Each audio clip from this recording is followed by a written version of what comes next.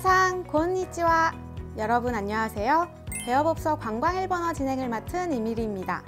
오늘 시간은 손님에게 원하는 제품을 추천하고 안내하는 표현 네가지를 배워보겠습니다. 소레대와 겨우너 즐겨 하지메마스 이쇼니 간바리마셔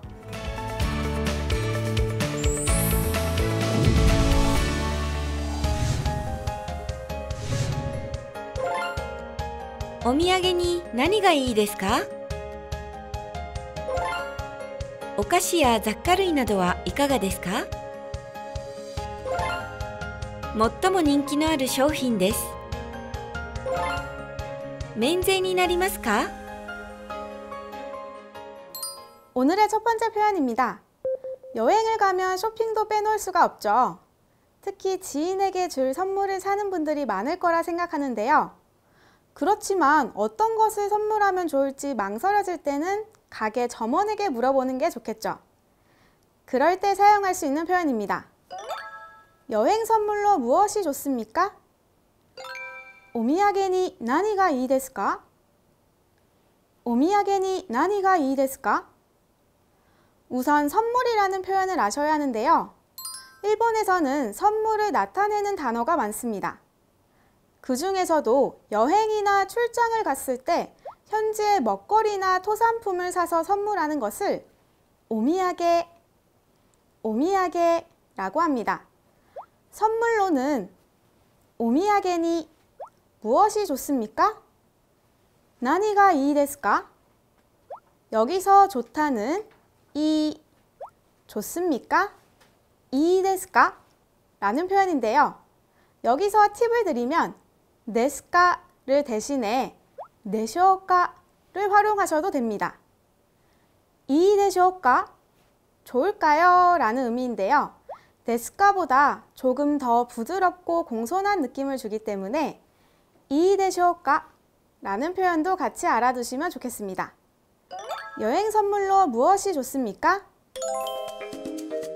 お土産に何がいいですか お土産に何がいいですか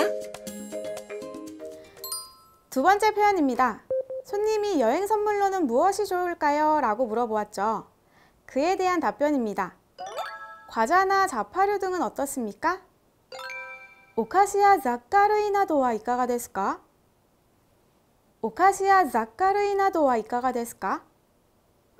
어떻습니까? 라는 표현은 이까가 데스까? 라고 하는데요. 이 표현은 다양한 상황에서 사용할 수 있는 표현입니다. 상대방에게 제안이나 권유를 하거나 기분이나 의견 등을 정중하게 물을 때 사용합니다. 혹은 직접 물건을 가리키면서 이쪽은 어떻습니까? 라고 말할 수도 있겠죠. 그럴 때는 방향을 나타내는 말인 고치라를 사용해서 고치라와 이까가 데스까? 고치라와 이까가 데스까? 라고 하면 됩니다. 과자는 일본어로 오카시, 자파류는 자카루이입니다.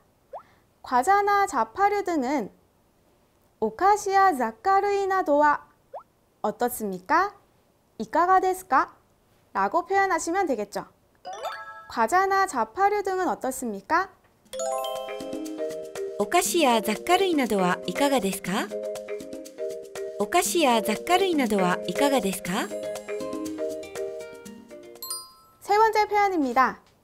두 번째 이어서 이번 표현도 제품을 추천할 때 사용할 수 있는 표현인데요. 가장 인기 있는 상품입니다. 最も人気のある商品です。最も人気のある商品です。最も 가장이라는 뜻이고요. 人気のある 라고 하면 인기 있는 이라는 의미입니다. 가장 인기 있는 もっとも 人気のある 상품입니다. 상품은 쇼히 쇼히 데스 라고 하시면 되겠죠. 손님에게 가장 인기 있는 제품을 추천하는 표현이니 두 번째 표현과 함께 기억해 두시면 좋을 것 같습니다. 가장 인기 있는 상품입니다. 最も人気のある商品です最も人気のある商品です 마지막 표현입니다. 일본에서 물건을 계산할 때 소비세 포함 여부를 확인하는 것이 좋습니다. 또 일정 금액 이상이면 면세 혜택을 받을 수도 있는 상점도 있으니 점원에게 물어보는 게 좋겠죠. 마지막 표현은 면세가 가능한지 물어보는 표현입니다. 면세 가능합니까? 면세인이 나리마스까? 면세인이 나리마스까? 이 문장의 포인트는 바로 면세가 되겠죠. 면세는 일본어로 면세, 면세, 면세가 되다는 면세니 나르 라고 해서 면세가 됩니까? 면세 가능합니까? 면세니 나리마스까? 면세니 나리마스까? 라고 하시면 됩니다. 마지막 표현 같이 읽어보겠습니다. 면세 가능합니까? 면제니 나리마스카? 면제니 나리마스카?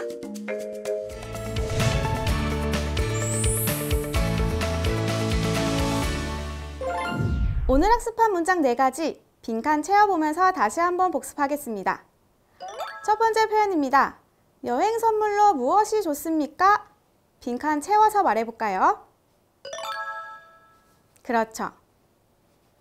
お土産に何がいいですかお土産に何がいいですか두 번째 표현입니다. 과자나 자파류 등은 어떻습니까? 어떻게 말하나요?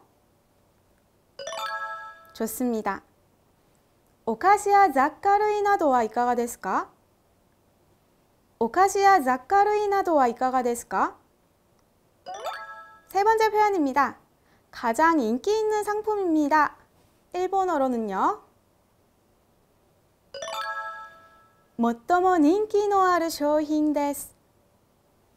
最も人気のある商品です。 마지막입니다. 면세 가능합니까? 빈칸 채워서 말해볼까요?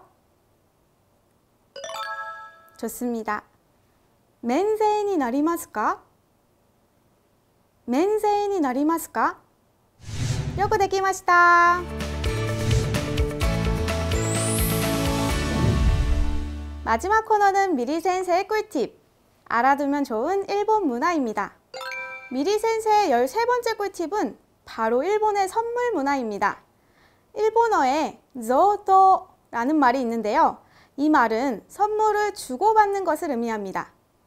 일본인의 생활 속에서 주고받는 zoto 관습은 매우 중요한 의미를 지니는데요.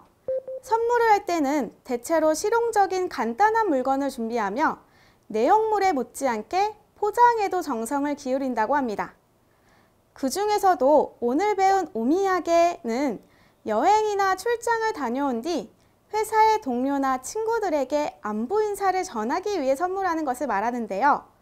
주로 그 지역의 명물인 차, 과자, 술 등을 선물합니다. 이렇듯 다채로운 종류로 여행객의 눈과 입을 사로잡는 일본의 오미야게는 주변 사람들까지 소소한 즐거움을 주는 정겨운 문화입니다. 이상 오늘의 미리센세의 꿀팁이었습니다. 수고 많으셨습니다. 다음에 만나요. 마타시타!